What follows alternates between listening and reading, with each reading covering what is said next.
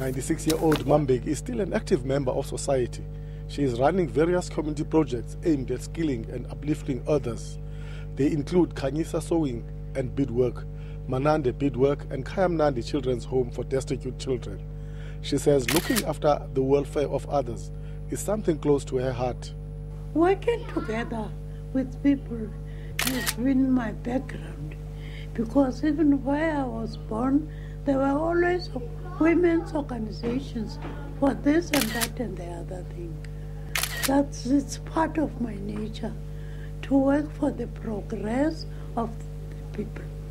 The ANC Women's League has told hundreds of its members who were also honored with the league's uniform to follow in the footsteps of women like Ma Mbeki. So what we've been doing in different parts, we've been honoring our veterans.